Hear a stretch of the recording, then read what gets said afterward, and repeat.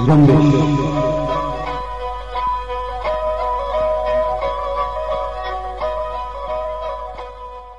سے شمبے اکیس جنوری اور سال دو ہزار بیس ہے۔ آپ سن رہے ہیں ریڈیو زرمبش اردو میں ہوں میرا بلوچ، آپ کی خدمت میں حاضر ہوں۔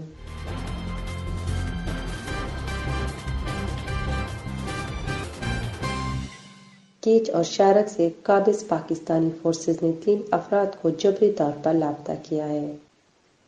بلوچستان سے تعلق رکھنے والی سماجی کارکن جلیلہ احدر کو پاکستانی اداروں نے برطانیہ جانے سے روک کر اس کا پاسپورٹ اور شناختی کارڈ ضبط کیا ہے۔ بلوچستان لبریشن فرنٹ نے دو ہزار انیس میں ہونے والی اپنی تمام کاروائیوں کی تفصیل میڈیا میں جاری کی ہے۔ ان خبروں کے علاوہ نیوز بلٹن میں بلوچستان سے مزید خبروں کے ساتھ ساتھ عالمی خبریں بھی شامل ہیں۔ آئیے آج کی خبریں عکیم بلوچ سے سنتے ہیں۔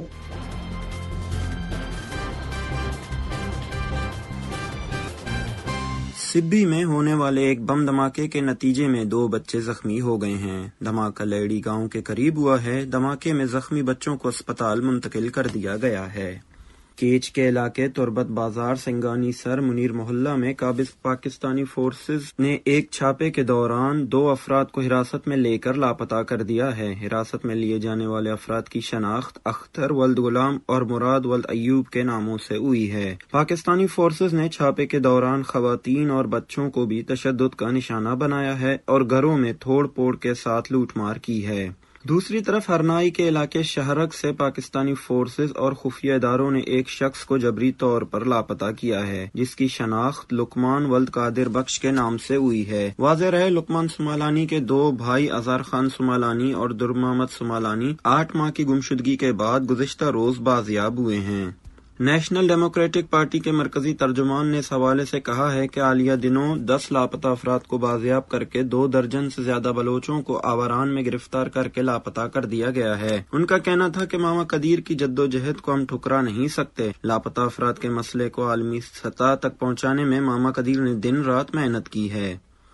تین سال قبل پاکستانی فورسز کے ہاتھوں جبری طور پر لاپتہ ہونے والے آفز محمد اسماعیل بادینی، جو کلی شریف خان نوشکی کا رہائشی ہے، کل بازیاب ہو کر اپنے گھر پہنچ گیا ہے۔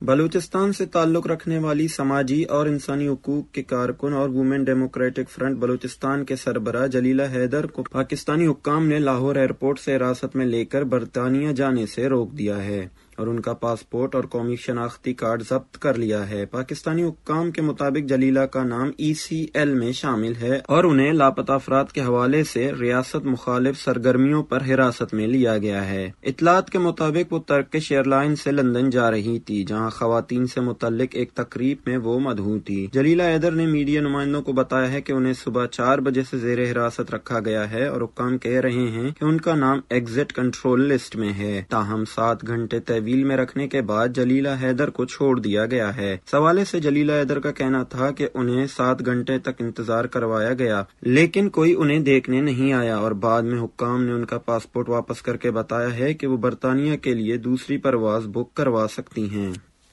بلوچستان لبریشن فرنٹ کے ترجمان میجر گہرام بلوچ نے اپنی تنظیم کی سالانہ رپورٹ جاری کرتے ہوئے کہا ہے کہ سال دو ہزار انیس میں پاکستانی فورسز پر ایک سو پچاس حملے کیے گئے ہیں، جن میں دو سو چھہتر سے زائد اہلکار ہلاک ہوئے اور دو سو سے زائد زخمی ہو گئے ہیں۔ اور ان حملوں میں پاکستانی فوج کی تینتیس گاڑیوں اور دو موٹر سائیکلوں کو حملوں میں تباہ کیا گیا۔ رپورٹ میں کہا گیا کہ سی پیک منصوبوں کو کرش سپلائی کرنے والے پلانٹ کو چھ بار نشانہ بنا کر ان کے بارہ گاڑیوں اور مشینری کو کو نظر آتش کیا گیا اور چار موبائل ٹاورز کو نشانہ بنانے کے ساتھ گوادر میں زمینوں کی خرید و فروخت کرنے والے ایک اسٹیٹ ایجنسی کو بھی حملہ کیا۔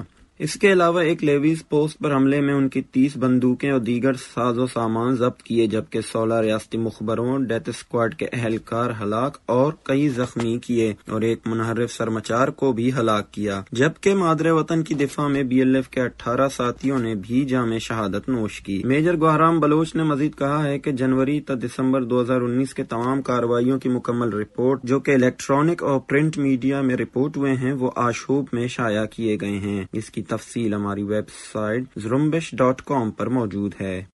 تربت میں خاتون نے ڈپٹی کمشنر کیچ کے دفتر کے اندر زیر کا کر خودکشی کرنے کی کوشش کی ہے، جسے بے ہوشی کی حالت میں ٹیچنگ اسپتال تربت منتقل کر دیا گیا ہے۔ بولان میں پیر پنجا کے نزدیک ٹرک بریک فیل ہونے کے باعث پہاڑ سے ٹکرا گیا ہے۔ حادثے میں ایک شخص ہلاک ہوا ہے۔ کوئٹہ کلی بڑو میں دیوار گرنے سے ایک شخص ہلاک ہوا ہے۔ سریاب روڈ پر ڈگری کالج کے ساتھ آگ لگنے سے دو افراد جلس کر زخمی ہو گئے۔ بلوچستان فوڈ اتھارٹی نے کوئٹہ میں پلاسٹک نما انڈوں کے خرید و فروخت کا انکشاف کیا ہے۔ بی ایف اے کی ٹیم نے Togha road, Alamdar road, Sirki road, Masjid road پر قائم انڈوں کی دکانوں پر چھاپے مارے ہیں اور کاروائی کے دوران ایک انڈے کی دکان کو سیل اور متعدد کو نوٹس دیے ہیں۔ اس کے علاوہ انڈوں کے نمونے حاصل کر کے لیبارٹری ٹیسٹ کے لیے بھجوا دیے گئے ہیں۔ کوئٹہ میں بارشوں کا نیا سلسلہ شروع ہو گیا اور محکمہ موسمیات نے پیشن گوئی کی ہے کہ بارشوں کا نیا سلسلہ آئندہ دو روز تک جاری رہے گا، جبکہ کوئٹہ سمیت مختلف علاقوں میں ہلکی بارش کا سلسلہ وقفے وقفے سے جاری ہے۔ بارش سے سردی کی شدت کم ہو گئی ہے۔ رپورٹ کے مطابق، کلات میں منفی پانچ، کوئٹہ میں منفی تین، زوب میں منفی ایک اور دال بندین میں صفر ڈگری سینٹی گریڈ ریکارڈ کیا گیا ہے۔ امریکی ریاست ٹیکساس کے شہر ہیوسٹن میں G M Syed memorial committee اور ورلڈ سندھی کانگریس کی جانب سے رہبر سندھ سائیں جی ایم سید کی ایک سو سولہویں سالگرہ منائی گئی، جس میں امریکہ کی مختلف ریاستوں کے سندھیوں سمیت سندھ سے آئے ہوئے مہمانوں اور پاکستان میں محکوم اقوام سے تعلق رکھنے والے سیاسی اور سماجی کارکنوں نے بڑی تعداد میں شرکت کی۔ مقررین نے سائیں جی ایم سید کے اتحاد انسانی، امن عالم اور ترقی بنی نو آدم کے لیے ادا کیے گئے کردار و جد و جہد پر روشنی ڈالی۔ سائیں جی ایم سید کی سندھی بلوچ، پشتون اور دیگر مظلوم اقوام کی آزادی حقوق کے لیے اٹھائی گئی آواز و جد و جہد کو سرایا خیبر پختونخوا میں نان بھائی ایسوسی ایشن نے کل سے پشاور سمیت صوبے کے مختلف شہروں میں آٹے کی عدم فراہمی اور روٹی کی قیمت میں اضافہ نہ کرنے کے خلاف ہڑتال کر دی ہے۔ نان بھائی ایسوسی ایشن کی جانب سے ہڑتال کی کال دینے کے بعد پشاور کوا ٹنگو اور ہزارہ ڈویژن میں تندور بند کر دیے گئے ہیں۔ نان بھائی ایسوسی ایشن نے دوسرے مرحلے میں نوشیرہ چار سدہ اور مردان تک ہڑتال کا دائرہ بڑھانے کی دھمکی بھی دی ہے۔ پاکستان میں جمعیت علماء اسلام فضل الرحمان نے ایک بار پھر حکومت مخالف تحریک شروع کرنے پر غور شروع کر دیا ہے اور حکومت مخالف تحریک کے سلسلے میں جے یو آئی نے صوبائی تنظیموں سے مشاورتی عمل کا آغاز کر دیا ہے، جبکہ سندھ اور پنجاب کی تنظیموں سے مشاورت مکمل کر لی ہے، البتہ کے پی کے اور بلوچستان کی صوبائی تنظیموں سے جلد مشاورت ہوگی۔ پاکستان میں سال دو ہزار انیس کے دوران نامعلوم اور پراسرار عناصر آزادی صحافت کے لیے سب سے بڑا خطرہ قرار دیے گئے ہیں۔ Council of Pakistan newspapers association کی جاری کردہ ایک رپورٹ میں کہا گیا ہے کہ گزشتہ سال صحافیوں کی زندگیوں کے لیے دوسرا بڑا خطرہ غیر ریاستی عناصر دہشت گرد اور مسلح گروپس رہے جنہوں نے پورا سال صحافیوں کو نشانے پر رکھا۔ ایک سال کے دوران ملک میں سات صحافیوں کو قتل کیا گیا جبکہ پندرہ زخمی بھی ہوئے۔ امریکہ کی پرنسپل ڈپٹی اسسٹنٹ سیکریٹری برائے جنوبی اور وسطی ایشیائی امور ایلس ویلز سری لنکا اور بھارت کے بعد چار روزہ دورے پر پاکستان پہنچ گئی ہیں۔ ایلس ویلز اس دورے میں پاکستان کی سیاسی و عسکری قیادت اور دیگر حکام سے ملاقاتیں کرنے کے ساتھ ساتھ پاکستان امریکہ تعلق اور افغان مفاہمتی عمل پر پیش رفت کا جائزہ لیں گی۔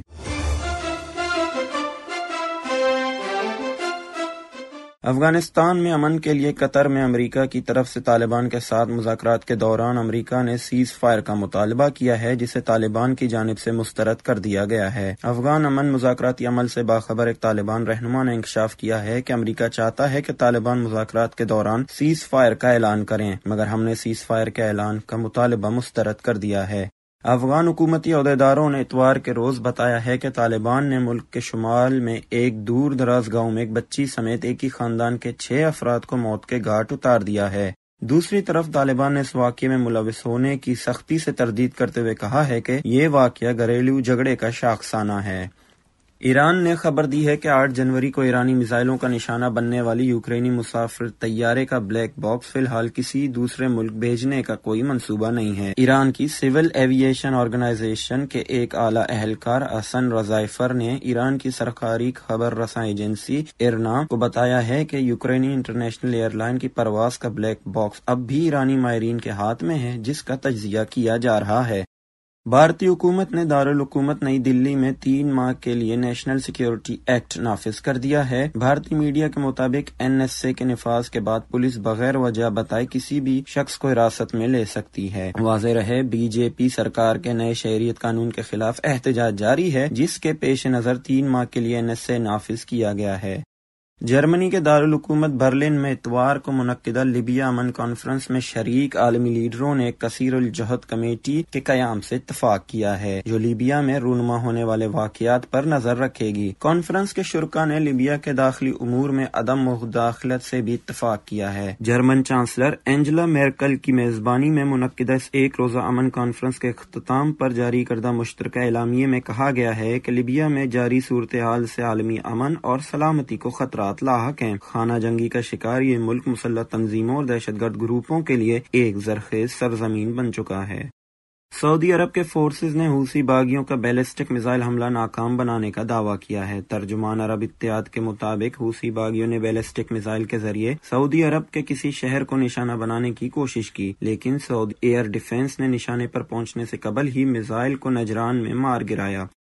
عراق میں حکومت کے اصلاحاتی پروگرام کی سست رفتار پر برہم نوجوانوں نے احتجاجی مظاہرے شدید کر دیے ہیں اور ٹائرز نظر آتش کر کے سڑکیں بلاک کی ہیں اور مطالبات منظور نہ ہونے کی صورت میں مزید اشتعال انگیزی کی دھمکی دے دی ہے۔ اس دوران سیکورٹی فورسز کی طرف سے آنسو گیس کے شیل فائرنگ کر کے دھرنا ختم کروانے کی کوشش پر مظاہرین نے پتھراؤ کیا ہے۔ جس کے نتیجے میں پولیس افسران سمیت دس افراد زخمی ہوئے ہیں۔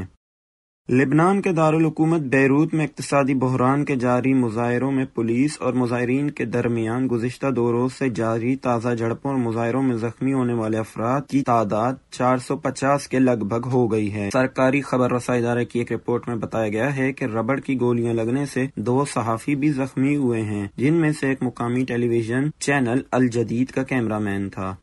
مقتول ایرانی جنرل قاسم سلیمانی کے حوالے سے شام کے وزیر دفاع علی ایوب کی ایک فوٹیج منظر عام پر آئی ہے۔ جس میں انہوں نے اعتراف کیا ہے کہ قاسم سلیمانی نے شام کے علاقے حمس میں باب عمر کے مقام پر نہتے لوگوں کو بے رحمی کے ساتھ قتل کیا تھا۔ علی ایوب کا کہنا ہے کہ قاسم سلیمانی سن دو ہزار گیارہ کو اس وقت ہی شام میں مترک ہو گئے تھے جب شامی حکومت کے خلاف پر امن عوامی تحریک مسلح بغاوت میں تبدیل ہو گئی تھی۔ مشرقی لندن کے علاقے سیون کنگز میں چاقو زنی کے ایک واردات میں تین افراد ہلاک ہو گئے ہیں۔ برطانوی میڈیا کے مطابق واقعہ سیون کنگز اسٹیشن کے قریب ہیلم اسٹیٹ روڈ پر اتوار کی شام پیش آیا۔ چاقو زنی کی واردات میں میٹروپولیٹن پولیس کی جانب سے تحقیقات جاری ہے۔ چیک جمہوریہ میں معذوروں کے ایک سینٹر میں آتش زدگی کے نتیجے میں آٹھ افراد ہلاک اور اٹھتیس زخمی ہو گئے ہیں۔ معذوروں کا سینٹر جرمن بارڈر سے سو کلومیٹر دوری پر واقع ہے۔ فائر بریگیڈ اہلکاروں نے چند گھنٹوں کی جدوجہد کے بعد آگ پر قابو پا لیا ہے۔ تاہم، آگ لگنے کی وجہ کا تعین نہیں کیا جا سکا ہے۔ یہ تھے حکیم بلوچ آج کی نیوز بلٹن کا یہیں پر اختتام ہوتا ہے۔ آپ سن رہے تھے ریڈیو سے خبریں۔ اسی کے ساتھ اجازت چاہتی ہوں۔